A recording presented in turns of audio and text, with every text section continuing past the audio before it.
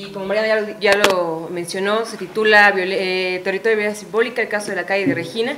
Y como ustedes saben, en la calle de Regina se ubica en el centro histórico, que en los últimos años ha estado expuesto, el centro histórico ha estado expuesto a una serie de implementación de políticas públicas encaminadas a su preservación, a su conservación, a su rescate, toda una serie de adjetivos que ha manejado el gobierno en su discurso para poder preservarlo y para poder eh, mejorar las condiciones de vida de sus habitantes. Eh, promover las actividades culturales que ya se, ya se encontraban ahí, pero también que eh, para que haya una mejora, una mejora en las actividades económicas que se ubican en el centro histórico. Bueno, eh, nos interesó precisamente Regina por esto, porque también es el primer corredor cultural que se enuncia en este discurso del, del gobierno, y porque es la primera calle en ser peatonalizada. Lo que nos interesaba, Lizeth y a era ver cómo estaban viviendo los habitantes de Regina y los comerciantes, los que tienen una territorialidad eh, em, identitaria en la calle, cómo estaban viviendo estos procesos, esas transformaciones en su propio territorio que habitan cotidianamente, ¿no? porque mucho se habla de la apertura del espacio público en este discurso, donde van a entrar muchos habitantes, muchos agentes nuevos, jóvenes sobre todo, ¿no? está, está muy enfocado el discurso del gobierno a los jóvenes, cuando extrañan, bueno, más bien cuando los la población de adultos mayores es la que habita más en el centro. Entonces se enfoca más a los jóvenes y Regina es como el gran modelo en estos, en estos proyectos, ¿no? Bueno, entonces en el centro histórico, como les mencioné, he estado expuesto a una serie de políticas eh, públicas que se fortalecen más cuando la UNESCO lo nombra en 1987 como Patrimonio Mundial de la Humanidad. Cuando es nombrado como Patrimonio Mundial de la Humanidad, entonces el gobierno tiene que acatar los lineamientos de la UNESCO. Había dos principales. Uno era mejorar las condiciones de vida de la población que habita, pues, que habita en el centro histórico y dos es quitar a todo, bueno, em, sí, quitar todo aquello que dañaba el, eh, que dañaba el patrimonio que se ubica en el centro y esto está enfocado en dos cosas. Uno era el tipo de actividad social que se llevan a cabo ahí y el tipo de actividad económica. Y como ustedes saben, después del 85, pues ahí llegó nueva población habitada el centro histórico, salió alguna por, los, por el daño a los edificios, llega nueva población que por lo general es gente de bajos recursos y empieza el comercio informal, que es a lo que se está refiriendo la UNESCO, ¿no? Esto es lo que está dañando nuestro territorio. Entonces el gobierno federal eh, lleva a cabo una serie de lleva, a ser a cabo de políticas una, o creación de instituciones. ¿no? Una, la primera que, que crea es el Fideicomiso de Centro Histórico, que es un ente financiero que se dedica a la promoción y también a la gestión de actividades enfocadas a, este, a este proyecto de recuperación del Centro Histórico. Se crean otras políticas, pero no son suficientes. Entonces la UNESCO sí eh, dice, bueno, ante la insuficiencia de recursos del gobierno hay que hacer dos cosas. Bueno, hay que, hay que más bien promover la participación en nuevos agentes, que tiene que ver con agentes privados, la cooperación internacional, pero también la sociedad civil. Con estos tres grupos entonces se forma en el 2001 la el Consejo Consultivo del Centro Histórico, ¿no? Y en el 2002 la Fundación del Centro Histórico. Ambas están presididas por Carlos Slim, que es como representante de, los agentes privados, y también hay intelectuales, hay historiadores, está el arzobispado, el arzobispado de la Iglesia Católica, es una serie de digamos, de diversos agentes, hay mucha diversidad de agentes, pero extrañamente no hay gente que de los habitantes del centro histórico no, no forman parte de estas instituciones. Eh, bueno, también se crea en el 2007 la Autoridad de Centro Histórico y en ese tenor, Regina en el 2007 se anuncia por Marcelo Ebrard como la primer calle, como el primer corredor cultural del, centro histórico, ¿no? ¿Por qué? Porque Regina pues presenta dos condiciones eh, muy favorables. Uno es que había una, una, latente vida cultural que se veía por el claustro de Sor Juana, por la Clínica Regina, que es la plataforma cultural de la Fundación Centro Histórico, no, perdón, Casa Regina, Casa Regina, que es...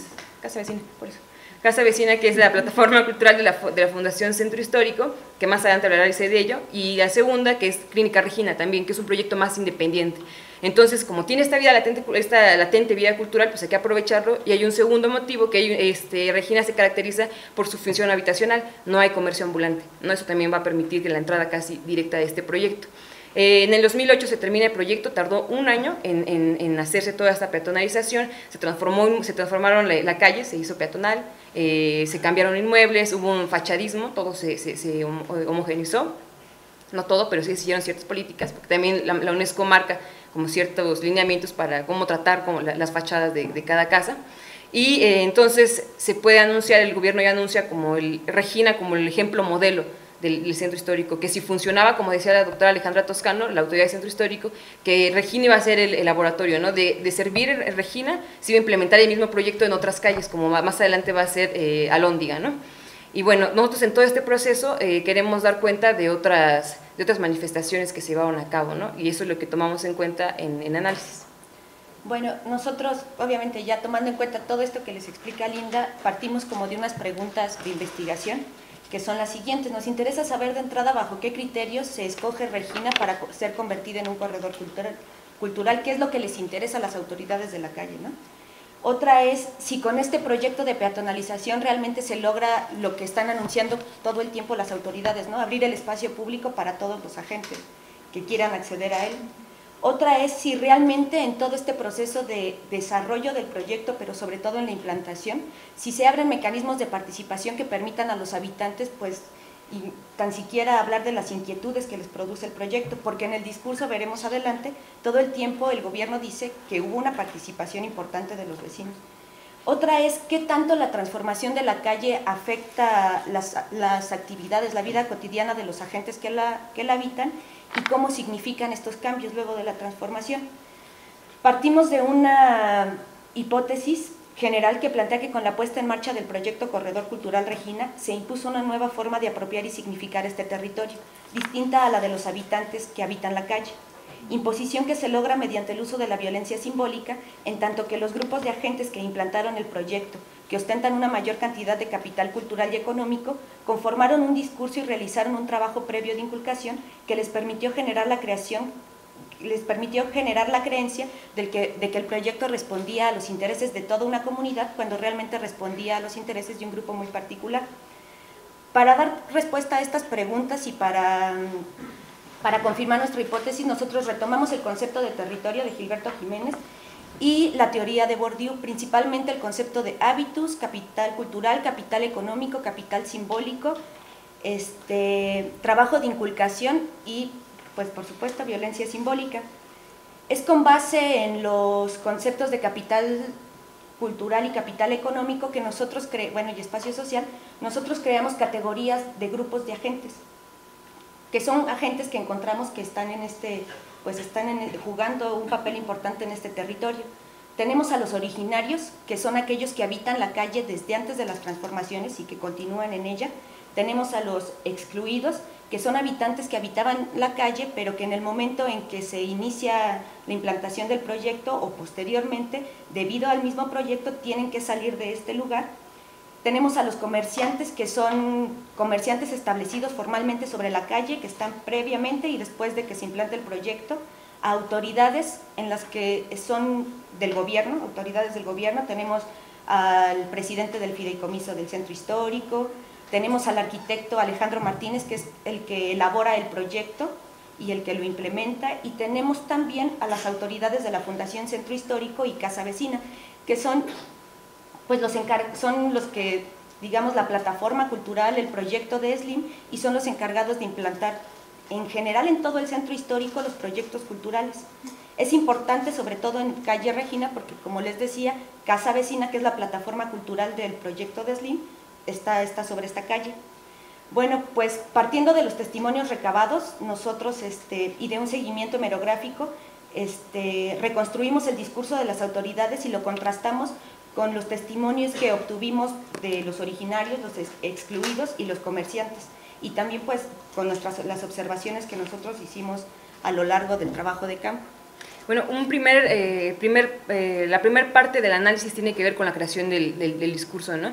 Bueno, para ello se hizo un diagnóstico previo por parte de las autoridades que, esbozaba, que decían eh, Regina que Regina presentaba cuatro condiciones muy importantes. La primera era que era una, calle muy insegura, había mucho narcomenudeo, había muchos eh, borrachos que cerraban el tránsito, bueno, más bien que le quitaban la condición de espacio público a Regina, porque al haber esta, inseguridad, la gente no podía transitar libremente por Regina, ¿no? Entonces se adujo que, que, Regina era una calle muy insegura. En un segundo momento también se decía que Regina presentaba entre los vecinos una fuerte ruptura del tejido social, que también se, ese, esos mismos esos, cuatro, esos cuatro ejes que voy a mencionar, que estoy mencionando también, se van a presentar en las demás calles también, ¿no? como la, ruptura del tejido social, eh, que se daba principalmente por la existencia de tantos carros, ¿no? Había tantos carros que los niños no pueden salir a jugar, los vecinos no pueden salir a platicar, no pueden convivir entre ellos, y por eso también se tiene que hacer peatonal la calle, ¿no? Para mejorar esta condición. Una tercera es que en Regina había un patrimonio cultural importante, un patrimonio edilicio eh, de importancia arquitectónica, sin embargo ahí vimos una contradicción porque mientras eh, la gente de la Fundación del Centro Histórico de Fideicomiso decía que Regina era muy importante por los edificios que había eh, en, esta calle, que se ubicaban en esta calle, el, que hizo el, proyecto, el arquitecto Alejandro Martínez, decía que pues en realidad no, Regina no sobresalía por, los edificios que estaban ubicados ahí, ¿no? que más bien sobresalía por la vida por la vida cultural, ¿no? que, ya se veía, el claustro de Sor Juan, las actividades que llevan a cabo también en Casa Vecina y algunos también de, de Clínica Regina. Sin embargo, estas tres condiciones que presenta el gobierno no son suficientes para que el proyecto pueda, pueda entrar. ¿no? Como les dije también al principio, fue la inexistencia de comercio ambulante lo que permite que el gobierno no tenga que lidiar con los líderes comerciales ni tampoco con los agentes, con los comerciantes. ¿no? Esto, es, eh, esto es importante porque, por ejemplo, en Regina no pasa este confrontamiento entre estos comerciantes porque hay un comercio, un comercio muy establecido que, tiene, eh, que son básicamente dos, son eh, las imprentas, son talleres de, para mejorar, no, talleres de reposición de máquinas de coser y las imprentas, son los dos comercios que se que caracterizaban a Regina, ¿no? Entonces no había con quién enfrentarse. Estos, estas condiciones que presenta Regina van a permitir la creación de un discurso muy elocuente, muy bien articulado, que se presentará tardíamente a los, a los vecinos y de los cuales dice hablará.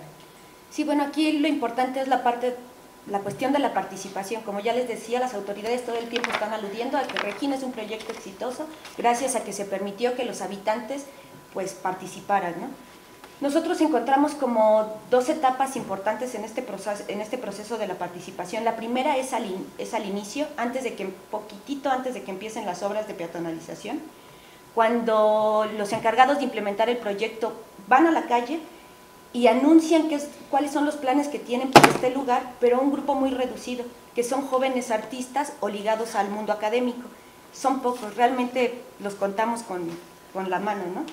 Este, ellos saben qué es lo que va a pasar en la calle, pero toda la demás población, según las entrevistas, no tenían la más mínima idea de que Regina iba a ser peatonalizada y que iba a ser un corredor cultural.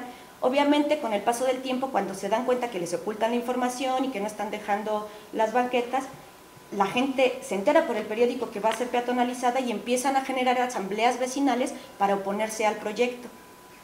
Cuando está en, justamente en este clima de descontento viene una segunda etapa de participación, cuando las autoridades, pues ya preocupadas por lo que sucedía, entonces ya crean asambleas donde ya se incluyen a todos los habitantes, pero en las cuales pues ellos ya no pueden hacer absolutamente nada sobre el proyecto porque ya está terminado. Solo pues hablan sobre las problemáticas que supone para ellos esta peatonalización e idean junto con las autoridades formas de pues de que sea menos difícil para ellos vivir, ¿no? Luego de que la calle cambie. Las autoridades se comprometen a muchas cosas, muchas, muchas cosas. Muchas de esas cosas se anuncian en el, periódico. Se habla de que ya se, ya se tiene casi el, el, predio donde se les va a hacer un estacionamiento público gratuito. Pero de todos esos compromisos, hoy en día, pues no hay, no se ha hecho absolutamente nada, ¿no? Entonces nosotros ahí buscamos dar cuenta cómo simplemente la participación pues queda en un plano discursivo. Otro tema fundamental es el de la cultura, sobre todo porque Regina pues, es un, se plantea como un corredor cultural y porque se habla de cómo la cultura va a ser, pues sí va a ser una suerte de magia que va a permitir regenerar el tejido social del centro histórico en general. Este, ahí pues nosotros ubicamos a la casa vecina, que es la encargada de impulsar los proyectos culturales en esta calle y también ubicamos dos etapas importantes. Una primera en 2007, antes de que empiecen las obras de peatonalización, Casa Vecina anuncia que realizará un proyecto cultural dirigido a la comunidad. Se integran a personajes importantes de esta comunidad que empiezan a trabajar como directivos en, en la casa vecina, empiezan a echar en marcha proyectos que incluyen, sí, que van dirigidos al gusto y a las necesidades de la población de la calle y se genera un proyecto realmente muy bonito, se logra esta idea de vincular a los artistas con la comunidad, impacta mucho sobre la población, sobre los niños de la población. Sin embargo, en 2009, aproximadamente un año después de que concluyen las obras de peatonalización, se echa para abajo todo el proyecto. Se deja la idea de arte para la comunidad y se inicia un proyecto ligado al arte contemporáneo. Muy, realmente dicen, dicen, este nuevo proyecto sigue siendo accesible para todos porque el que quiera puede entrar, pero lo cierto es que pues, la gente no comprende todos estos conceptos del arte contemporáneo y se da un alejamiento tremendo, ¿no?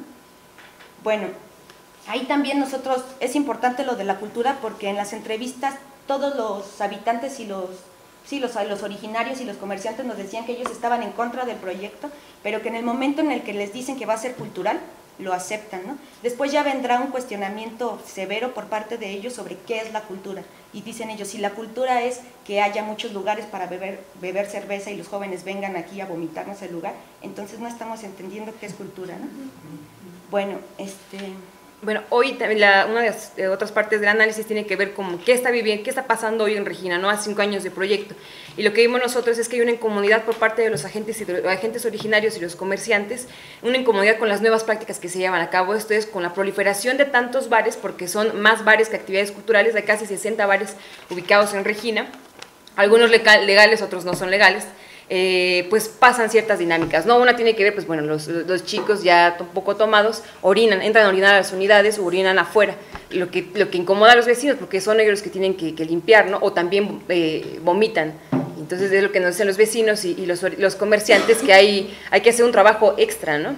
Un segundo punto también es que ellos están decepcionados con la falta de actividades culturales, porque efectivamente, como se dice, decían que si esto era cultura, pues de verdad no, no estaban entendiendo que era la, cultura, ¿no? No hay actividades culturales y las que hay, pues es como una especie de zoológico, ¿no? Porque Casa Vecina puso ventanales para que ellos puedan ver, los ellos puedan ver cómo trabajan los artistas, pero no pueden involucrarse los de la comunidad. Y si van a involucrarse los de la comunidad, tienen que dar un proyecto que sea de largo, a largo plazo. Yo no puedo decir como vecino, me interesa hacer un, un taller de dibujo, porque no hay continuidad, o sea, ellos no pueden darte el apoyo porque no hay continuidad, no te pueden dar taller 1, 2, 3, 4, 5, 6, era lo que ellos, la, casa, la gente de casa vecina decían, no podemos darle continuidad, pero sí pueden ver lo que estamos haciendo, ¿no? Entonces hay una decepción frente a esa falta de actividades culturales y hay un tercer punto, bueno, ante esta, estos, dos estos dos puntos, eh, cómo reaccionan las autoridades, ¿no? Porque saben que se les ha salido de tiempo se les ha salido, ay no, se les ha salido tiempo, no, vi tiempo y dije, no, se les ha salido del control toda esta situación y lo que han hecho es justificar todas estas nuevas dinámicas como parte de las ciudades vivas, ¿no? Las ciudades son vivas y bueno, esto es normal que pase, ¿no?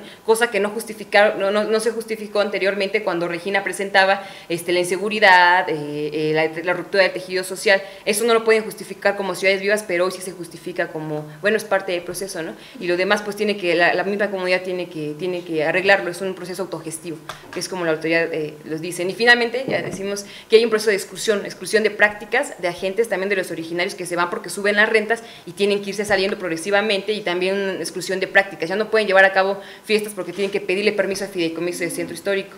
Y bueno, eh, eso es todo lo que vamos a decir porque ya no tenemos nada de tiempo. Espero que con las preguntas. Podríamos decir más, pero ahorita las preguntas.